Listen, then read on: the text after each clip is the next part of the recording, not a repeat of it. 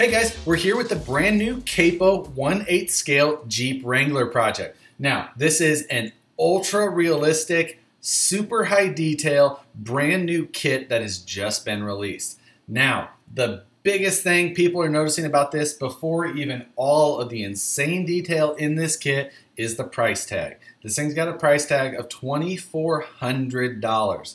Now, this is by far the most expensive box stock kit that I've ever had here in the shop. Now, a lot of our vehicles can get really high price tags on them if you start adding up all of those individual parts and pieces we put into a truck to make it as bomb proof or as scale as we do in the end. But to lay out $2,400 right away for this kit is definitely a little bit of a sticker shock for most people that hear about this kit.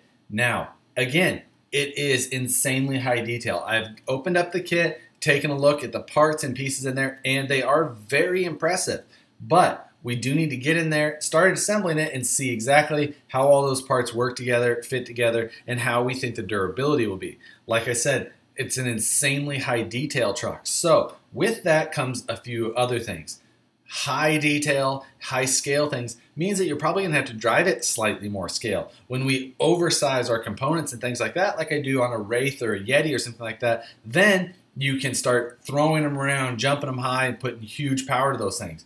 This kit, I do not expect that to be the case. I think this is going to be something that you're going to need to adjust your driving style to make your uh, experience be a more realistic one because just by the look of this car so far, I think that that is going to be the case with some of the components. But we're going to get into it, start looking at those things, and see exactly how that is in the end.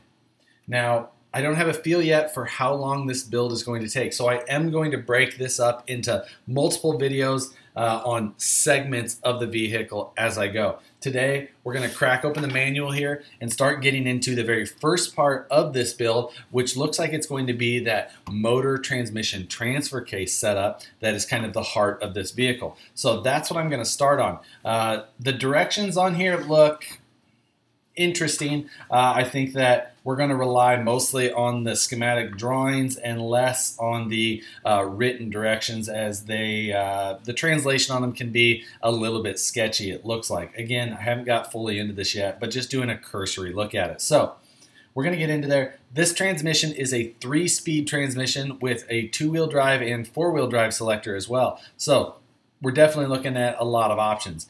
In the end this thing has a lot of servos controlling a lot of different things. So, radio choice, all of those different things, all of that's going to come. I'm going to just kind of take my time and step through this build, seeing and looking at every single component of it. We will get into the gear ratios, all of that, motor selection. Uh, we're going to get pretty technical into this because I think that this kit deserves uh, to have that technical look at something uh, with some real information put out about it. So with that said, let's crack open this box and uh, start getting into this transmission, motor, and transfer case setup. After taking a brief look at the instructions, I've cracked into the kit and grabbed what parts I think could probably be associated with the buildup of this uh, transmission, transfer case, front engine assembly. Like I said, these directions, not the best thing. Right out of the box, I can tell that it's going to be a little bit of a struggle and a patience game to make sure that I pick the right parts and pieces out of here. Probably going to be a little bit of hunting around as we go. To get into some of the parts that are already pretty exciting looking, just to show you guys what we're going to be dealing with. This has the front engine that's going to be uh, under the hood like you would expect. And this is just the, call it the block assembly. It's three pieces, a rear, a center, and a front there. This will house the motor to actually hide it. The transmission assembly will actually be housed in a full uh, realistic looking transmission, kind of uh, done in a black chrome, I would call it, which will mount to the back of the block just like you would expect. It's got an oil pan for the transmission, as well as a uh, tail shaft housing, and then a two piece transfer case housing. So we'll get, we'll get into each of these pieces and things like that as we go. I'm not going to do a how-to on how this thing all goes together, but I do want to show you kind of some highlights from some of the individual parts and pieces as we go. So I'm pretty good ways into the actual build of the transmission now. I've got the major portion of the transmission gears assembled here. There is one, two, three, four gears inside of the transmission. Uh, one is actually a double gear. And then there's three shift forks as well as shift cogs uh, that all will engage the independent three speeds. Now, it also has a three gear transfer case on the back. And like I said, that this is also has a two wheel drive and four wheel drive setup. So the shift fork for the four wheel drive, two wheel drive setup lays in the back half of this transfer case. Now that I've got everything set up, I've mocked it up once in place, had to come back, make sure that all of my bearings were seated well so that when I tightened up this transfer case, everything seated perfectly. When it was all cinched down, everything still spun freely. Uh, the very first attempt at that, things weren't going quite as well. The bearings are a pretty tight fit onto the shafts. I am having to tap them on slightly to make sure that everything seats perfectly. Um, so other than that, that's really the only fit issue that I've seen so far, other than uh, one E-clip being too loose to uh, hold tightly on that shaft. Other than that, everything else is going uh, together pretty well at this time. I am making sure to use thread lock on every single piece of uh, hardware that I'm putting on this. And so far, the materials seem like they're holding uh, threads pretty well. So far, all of the screws have been an M2, so that can get pretty tiny, and sometimes you can get a little bit nervous about how those threads will hold. But so far, so good. Uh, I'm going to continue with this build and get this transmission uh, completely assembled. So we've completed the actual assembly of the transmission here. The only thing left to do is put the final pan cover on the bottom, and then this whole unit will be sealed up. Now, right now, I've got a temporary motor in there. This is a Holmes Crawlmaster motor. I think I'll likely go with a brushed motor with a very high amount of torque, but not necessarily a ton of speed for this car. I do believe that it's going to be pretty heavy based on just the beginning of this kit so far and the weight of that box. I will say that there is no way to properly adjust the mesh of the pinion gear onto the spur gear though.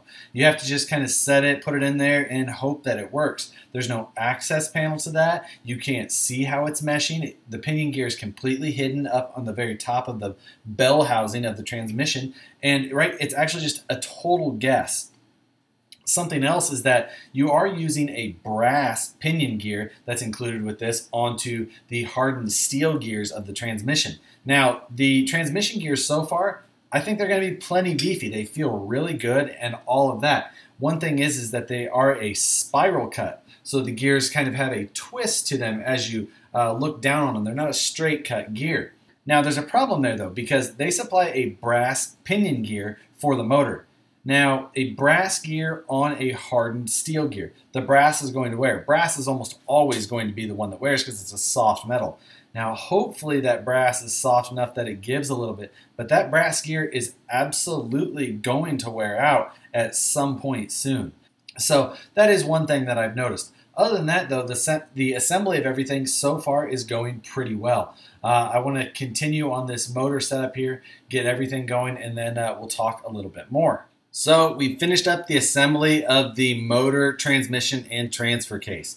Now, I have not installed the three servos that are housed inside of this block. So I will have to disassemble this again and then install those servos. Now, right now, I just want to get everything put together initially. Uh, it's going to take some rework to take things apart put things where they are. But I wanted to get a good feel of exactly how this thing went together. And uh, before I made the final decision on what electronics packages I was going to run, specifically the motor and ESC. Since then, I have kind of decided now what I would like to use. And at that point, I could stop. But uh, I think, like many of you, I'm probably uh, a little bit too impatient to have something this nice sitting here and not want to put it together. So, I want to uh, go through, make sure that I see everything about the kit. So far, I have uh, had two issues. One is that I was missing one small brass bushing. Right now, I have not found a situation to rectify that, so I do not have the bushing that uh, goes on the pivot portion of the belt tensioner of the front pulley system. So I will have to figure out something for that. Uh, I don't know that it's going to be worth trying to get something from Capo uh, to replace that, or if I will make something on my own uh, or something like that. So I will cross that bridge. Uh, the other thing was a simple uh, 10 millimeter set screw missing. I had ones that were longer and shorter, uh, but nothing that was specifically for the length that they called out in the package. actually, I had one other issue as well. They've got these aluminum spark plugs basically that uh, they go on the side here and that's what holds this uh, valve cover on. Now these are made of aluminum and as you can guess aluminum is somewhat soft. Now I had an issue with one of them on the back side of the left bank here. Now the threads on it were not perfect initially. I couldn't get it to start. So I took it out and uh, ran it down on a two millimeter nut to try and clean up the threads the best I could. As I was uh, then threading it in, it did start to thread fine, and then all of a sudden it pulled off on me. So uh, now I do not have the eighth spark plug uh, that is uh, required for that. So that is something that I may also make a replacement for on my own, uh, but we'll see exactly how that goes. Now, there's one other design thing that I really want to touch on, and that is this rear disc brake assembly here. Now, this disc brake assembly is keyed into the output shaft that runs straight through the transmission. Now, when I was originally seeing it, I hadn't looked very close at it, uh, and, but I was already slightly skeptical about the use of a disc brake on an electric vehicle. As I get further and further into it, uh, I do not see the purpose of using this disc brake whatsoever. Now, the reason is is because our motor and ESC package will have a drag brake. I think the drag brake will be much better uh, as far as functionality goes than a disc brake would. Because with a disc brake, you run into other issues as far as uh, programming and things like that, as far as reverse goes or something like that. It's not like a nitro car, or it is similar to a nitro car in the fact that uh, normally you have a brake or a reverse servo that's actually required to use reverse, rather than a simple electric motor and drag brake setup. So, um, I'm going to adjust this disc brake setup in a way that it becomes ineffective. I do not see the point on using it, and uh, in the end, I do not think you would see any benefit out of that. This transfer case does have the two-wheel drive, four-wheel drive setup. Now, this small little nub here on top of the transfer case is how that's activated, and I am surprised at how smooth it is. So, uh, we will see how it performs once it's under load and such. So that's where we're at so far with this build. Total build time to assemble this motor and transmission uh, is going on four plus hours, four to five hours uh, for this build here. I was taking my time trying to go through as uh, as carefully as I could while deciphering the eh, medium quality uh, instructions. But so far, other than the issues I've mentioned, uh, nothing major and uh, pretty pleased with the kit so far, but we've got a lot of kit left to go with a lot of detail pieces and really looking forward to seeing how the fit and finish of the rest of the kit comes together. But with that, and with the very first part of this build done, we will see you guys on the next one.